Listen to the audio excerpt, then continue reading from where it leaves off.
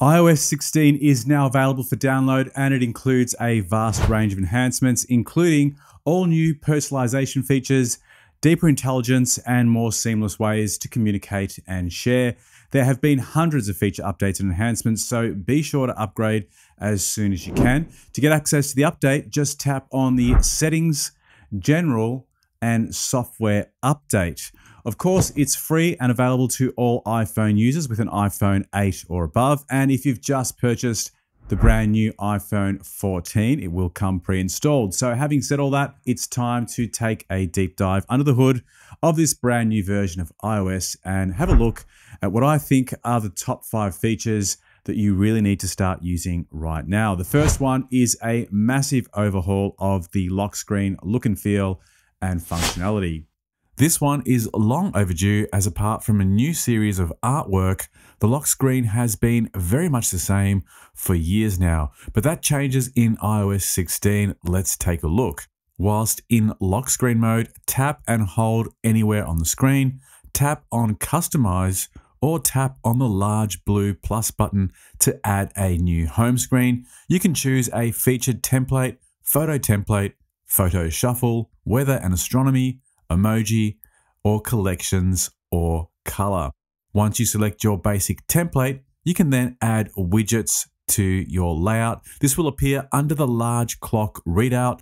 I'll add shares, battery life, and the clock widget to my lock screen. You can customize the font by tapping on the time and changing the font style and color. You can tap on the date section above the clock and replace this with other widgets such as weather, calendar, fitness, or stocks. Once you've completed the setup of your new lock screen, tap on the add button on the top of the screen and select set as wallpaper pair.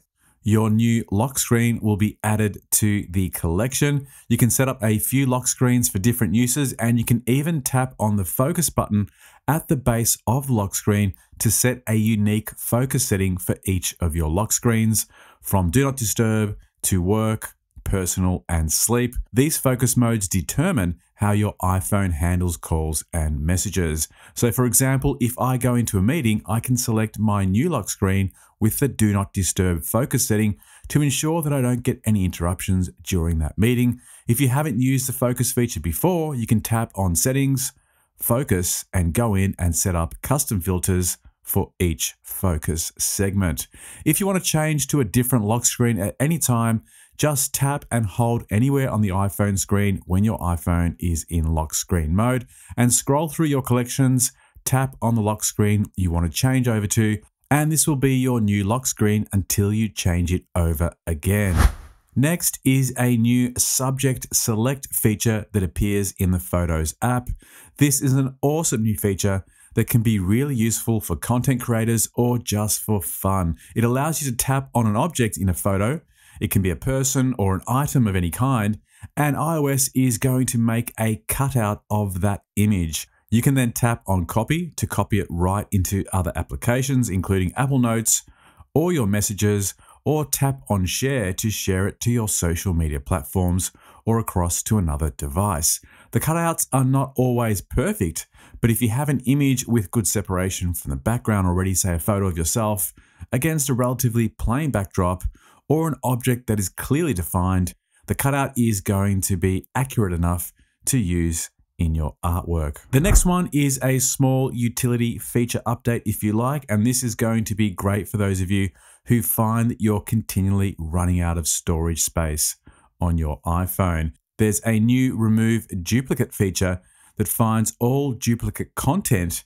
in your photo library and gives you the option to delete the unwanted data. To access this feature, tap on the Photos app, scroll down, then in the Utilities section, tap on Duplicates, then tap on the Merge icon to merge the two photos into one, thereby deleting the duplicate image.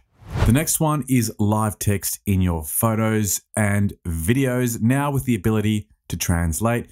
If you take a photo of anything with text in it, you can tap and hold on the text, select it, and copy it over to a document, share it to another device, or message it, for example. And now in iOS 16, you can even translate it to another language.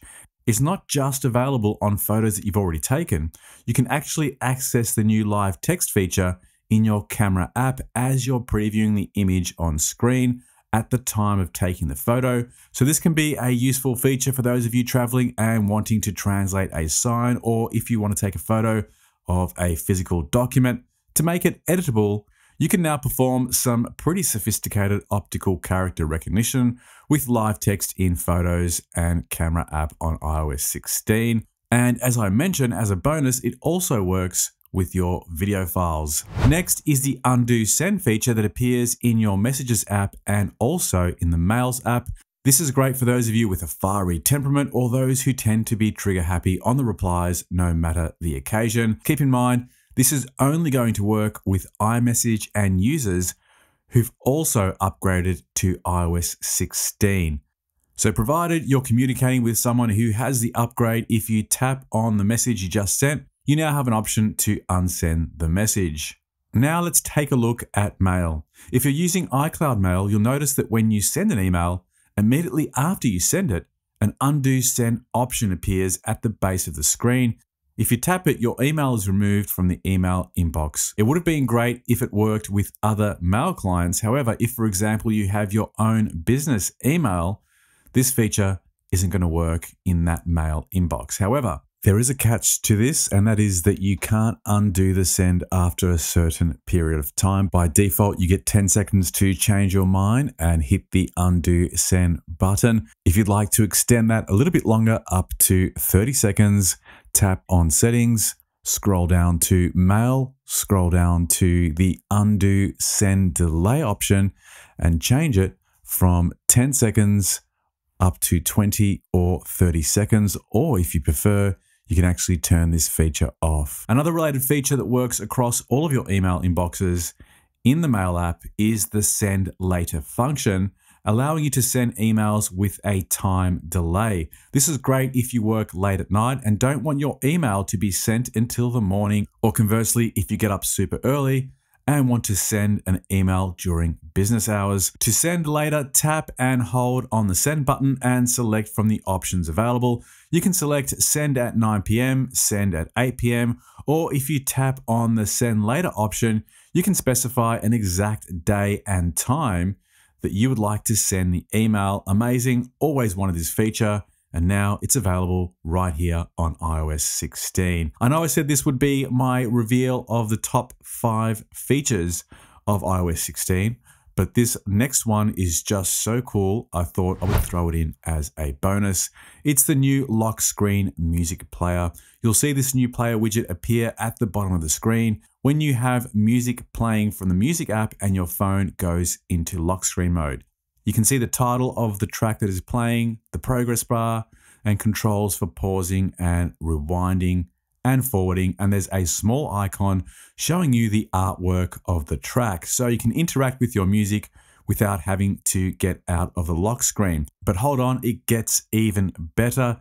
With this new music player widget, you can tap on the artwork icon on the left of the player window and now your album artwork fills the screen. It overrides your lock screen image temporarily and it cleverly enhances and blurs the artwork in the background all of this not only provides easy access to your music, but also looks amazing, especially if you have some great band artwork in your catalog of music. So that's all for this video. Hopefully you enjoyed my overview of some of the amazing new features on iOS 16. For more tips and tutorials on how to use your iPhone, along with many other videos related to digital creativity, new product reviews, and all things tech, be sure to hit that like button and subscribe to the channel. See you on the next one. Bye for now.